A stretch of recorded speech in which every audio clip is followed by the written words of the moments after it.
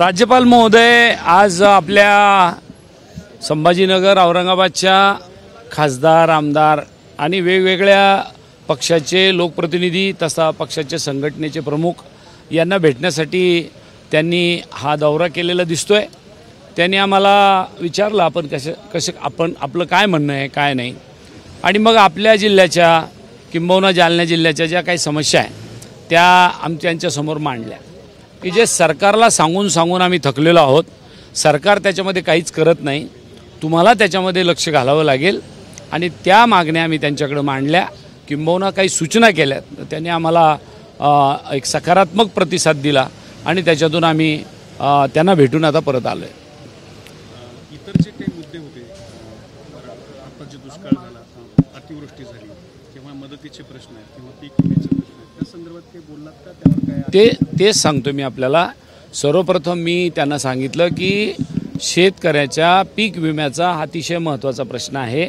आणि प्रधानमंत्र्यांनी पीक विमा द्यायला योजना तर डिक्लेअर केली.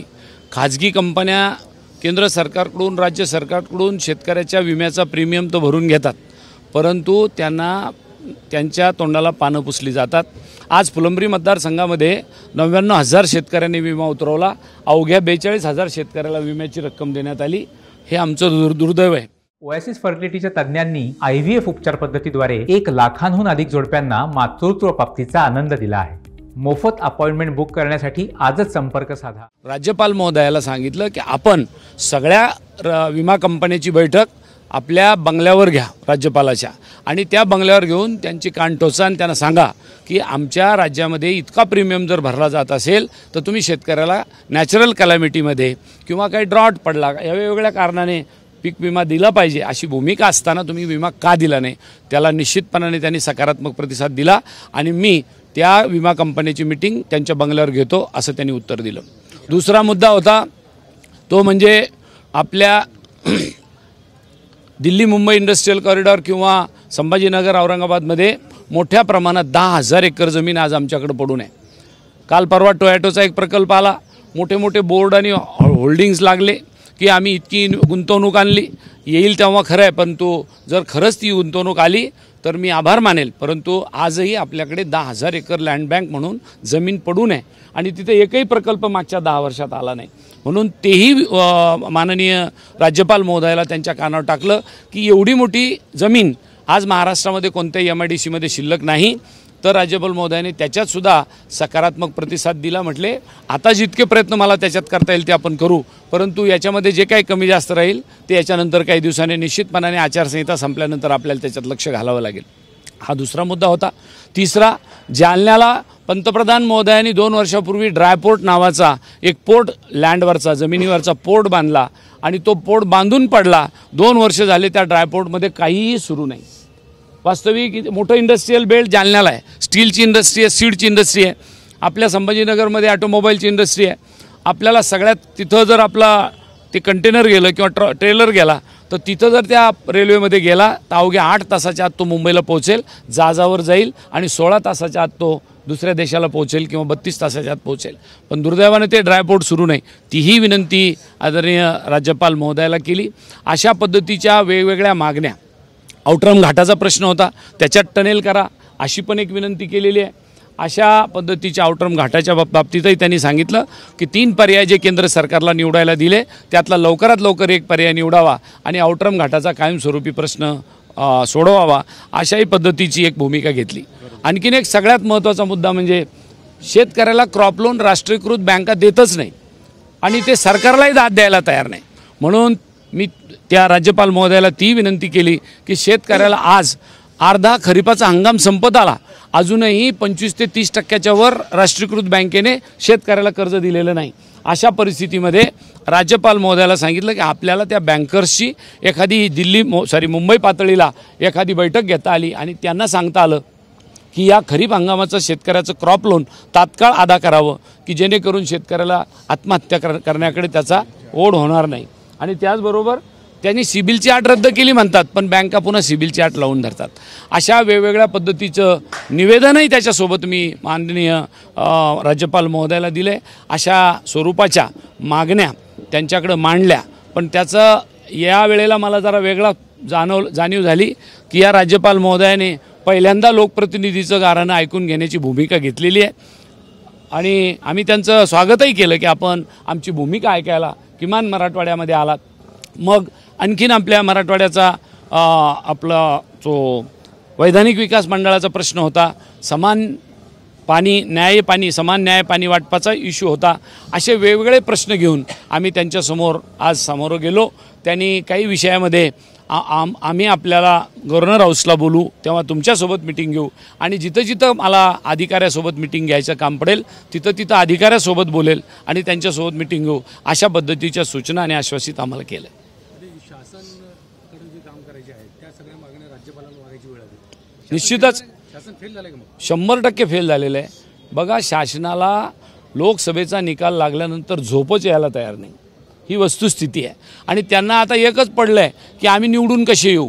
आता ते काय काय करतील त्याचा भरोसा नाही. तिजोरीमध्ये पैशाचा खडखडाट आहे. शेतकऱ्याला पैसे द्यायला नाही आहे शेतकऱ्याची भूमी संपादन केली पैसे मिळाले नाही. त्याला एकीकडे सुप्रीम कोर्ट त्यांना जोर बद्दा जोरदारपणे त्यांच्यावर टीका करते. अशा परिस्थितीमध्ये ते आता काय करून काय नको करूमध्ये आहे. शंभर टक्के शासन फेल आहे. तुम्ही बघा अतिवृष्टी झाली अजूनही पंचनामे नाही. किंबहुना काही घोषणा नाही. सांगून टाकलं तीनशे कोटी देईल दोन हजार कोटी देईल पाचशे कोटी देईल. फक्त घोषणा करतात. पदरात कोणाच्या काही पडायलाच तयार नाही.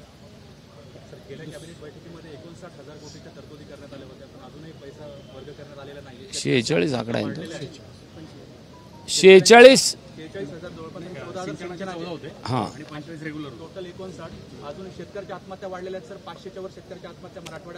कशी गंमत आहे बरं का? हे दुर्दैव आहे आपलं. मराठवाड्यामध्ये एखाद्याने येऊन आमची चेष्टा करावी. राज्यभराच्या मागण्या मंजूर कराव्या आणि त्या मराठवाड्याच्या सतरा सप्टेंबरला क्रांती दिनाच्या दिवशी आमच्या मराठवाडा मुक्ती संग्राम दिनाच्या दिवशी आमच्या माथ्यावर माराव्या आणि सांगावं की आम्ही तुमच्यासाठी एकूण साठ हजार कोटी रुपये देतो आहे हे दिवसा ढवळ्या आमच्या डोळ्यात अंजन घातल्यासारखं आहे. असं यापूर्वी कधीही काँग्रेस किंवा आघाडीच्या सरकारने केलं नाही.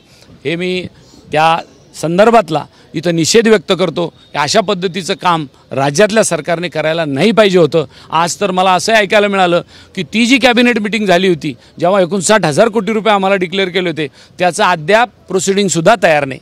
हे किती दुर्दैव आहे आमच्यासाठी? ही घोर फसवणूक आहे मराठवाड्यातल्या ने- मंडळीची. बघा आता हा विषय अजून वेगळा आहे. मराठवाड्यातला स्वतंत्र करावं या मागणीशी मी कधी त्या संदर्भात आमचा पक्ष किंवा आम्ही अजून त्या पद्धतीची मागणी केलेली नाही. परंतु एक मागणी जरूर आमची आहे. विना आठ मराठवाडा हा महाराष्ट्रामध्ये सामील झाला होता. मराठवा महाराष्ट्राला देशाला स्वातंत्र्य मिळालं होतं एकोणीसशे सत्तेचाळीसला. आम्हाला सतरा सप्टेंबर एकोणीसशे अठ्ठेचाळीसला मिळालं आणि आम्ही विना आठ संयुक्त महाराष्ट्रामध्ये सामील झालो. पण दुर्दैवाचा भाग अजूनही आमचा बॅकलॉग पूर्ण व्हायला तयार नाही. आम्ही राज्यपाल महोदयाला सांगितलं आहे स्टॅट्युटरी बोर्ड किंबहुना वैधानिक विकास मंडळ स्थापन करण्यात आलं होतं की आमचा बॅकलॉग पूर्णपणे संपेल. पण आजही असं दुर्दैवाचा भाग आहे बॅकलॉग संपला नाही पण स्टॅट्युटरी बोर्डला पुन्हा आपण रिन्युअल म्हणतो किंबहुना पुन्हा फेर परवानगी द्यावी आणि पुन्हा वैधानिक विकास मंडळ स्थापन करावं आणि आमचा बॅकलॉग पूर्ण करावा. ते दुर्दैवाने अद्यापही झालं नाही. तुम्ही पाण्याचं बघा रस्त्याचं बघा वेगवेगळ्या बजेटमध्ये मिळणाऱ्या पैशाचं बघा. हे दुर्दैव आहे आमचं.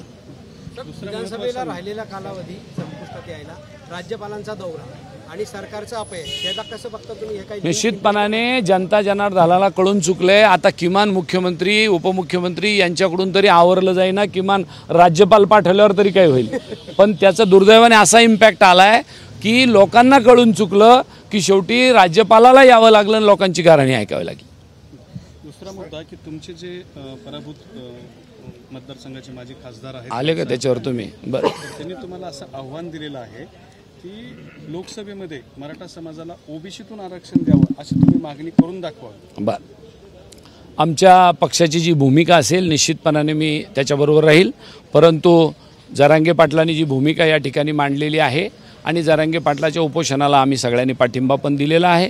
राहता राहिला प्रश्न ओबीसीतून द्यायचा नाही द्यायचा सर सरकारने ओबीसीतून आरक्षण दिलं तर मग त्याच्यावर नंतर आपण बोललो पाहिजे. अजून दिलंच नाही.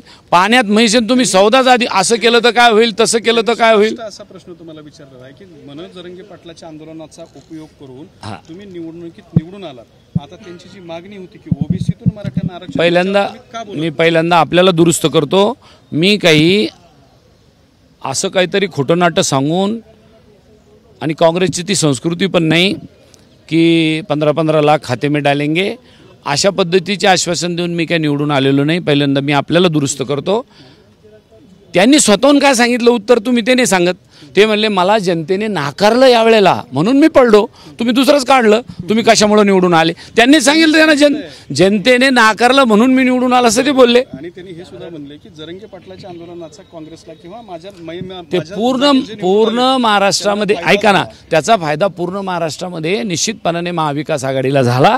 त्याचं कारण आहे की सनदशीर मार्गाने कोणी आंदोलन करत असेल आणि त्याच्या त्या आंदोलनावर जर कधी हे सरकार गोळ्या गोळीबार करत असेल लाठीचार्ज करत असेल तर स्वाभाविक समाजाला सगळ्या चिड येणारच आहे. म्हणून खऱ्या अर्थाने आंदोलन पेटलं. पुढचा प्रश्न असा होता की ओबीसीतून मराठ्यांना आरक्षण मला परत परत? परत परत तुम्ही त्याच्यावरच येता हो. ऐका ना त्यांनी सवाल विचारावा आणि मी त्याचे उत्तरं द्यावे असं काही मला मी बांधील नाही त्यांच्या प्रश्नाचे उत्तर द्यायला. ज्या वेळेला पक्षाच्या व्यासपीठावर असा प्रश्न ऐरणीवर येईल त्यावेळेला आम्ही आमची भूमिका स्पष्ट करू. आता तुमची भूमिका त्या संदर्भात आमची भूमिका पक्ष पातळीवर निश्चितपणाने आम्ही स्पष्टपणे मांडू. हा आता तेवढंच राहिलं होतं. मला असं वाटतं तुम्हाला पुरलं आता एवढं सगळं. हा अजून घेऊ का? तुम्ही म्हणत असेल तर अजून देतो. आभारी.